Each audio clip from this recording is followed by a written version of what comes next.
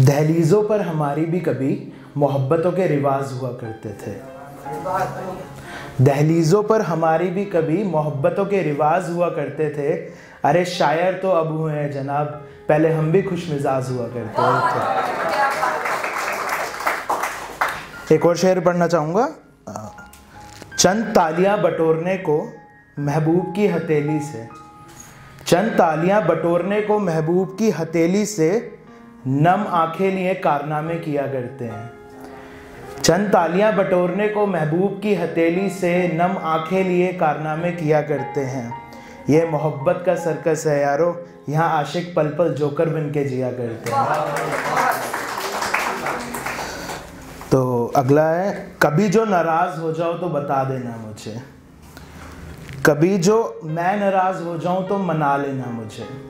कभी जो तुम नाराज़ हो जाओ तो बता देना मुझे, अगर मैं नाराज़ हो जाऊँ तो मना लेना मुझे। गिनती के दिनों में सिमटी है ये ज़िंदगी सारी। गलती कभी तुम्हारी भी हो तो मैं हूँ ना, तुम सजा देना मुझे। लास्ट शेयर पढ़ना चाहूँगा एक, उसके बाद कविता। सुना है शिकायत है उन्हें।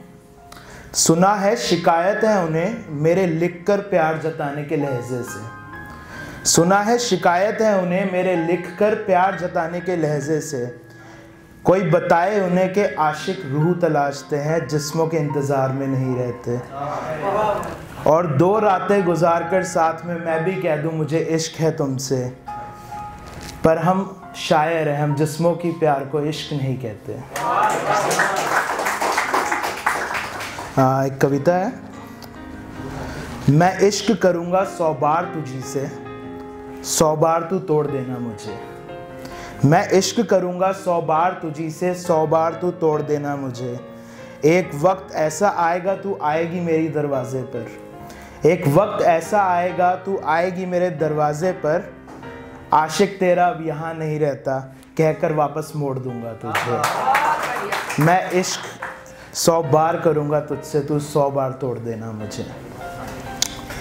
दूर शहर से एक बस्ती में बस जाऊँगा मैं। दूर तेरे शहर से एक बस्ती में बस जाऊँगा मैं।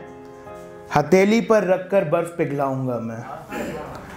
लकीरें जिन्होंने इश्क खुद में कबूल ना किया, गर्म तहसीर से बर्फ़ की उन्हें जलाऊँगा मैं। दूर शहर से एक बस्ती में बस जाऊँगा मैं। कभी आना मिलने मुझसे, तू मेरे वीराने में। कभी आना मिलने मिलने मुझसे, तू मेरे वीराने में। अगर देख कर रो भी पड़े तू तो चुप कराऊँगा मैं। देखना उंगली पकड़कर मेरी शायद तेरे साथ चल पड़ू मैं। देखना उंगली पकड़कर मेरी शायद तेरे साथ चल पड़ू मैं। खैर छोड़ो, अब बदल गए हो तुम, तुम्हारे साथ जाकर भी क्या करूँगा मैं? एक काम करना, जाकर अपने शहर वापस बताना सबको जाकर अपने शहर वापस, तुम बताना सबको कि आशकी में मेरा क्या हाल हुआ है। किस कदर तोड़ गया मुझे एक शख्स? पहले मेरा होकर फिर किसी और का जो हुआ है। महफिल में अगर कोई तुमसे पूछे कि कौन था वो तो कहना कि बेवफा था कोई, पर ऐसे बदनामी में अपना नाम नहीं लेना तुझे।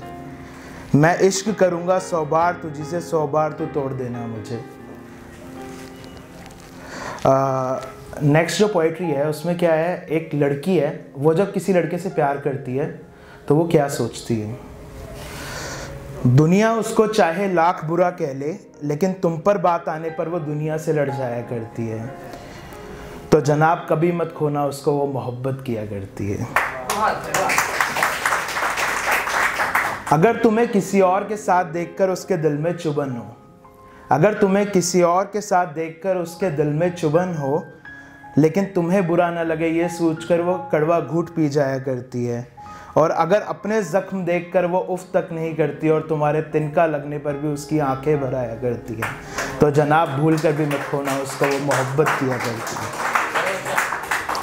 चाहे तुम्हारे पहले उठे या तुम्हारे बाद चाहे तुम्हारे पहले उठे या तुम्हारे बाद, आँखें खोलते ही अगर वो पहला ख्याल तुम्हारा किया करती है। और अगर तुम्हारे दिए गुलाबों को वो जुल्फ़ों में ना लगाकर, उनकी कलमों को बागीचे में बो दिया करती है तो जनाब भूल कर भी मत खोना उसको, वो मोहब्बत किया करती है। यूँ तो हज़ारों पलके बिछाए बैठे हैं उसके लिए। यूँ तो हज़ारों पलके बिछाए बैठे हैं उसके लिए लेकिन वो तुम्हारे लिए उन हज़ारों को नज़रअंदाज किया करती है। जनाब भूल कर भी मत खोना, उसको वो मोहब्बत किया करती है।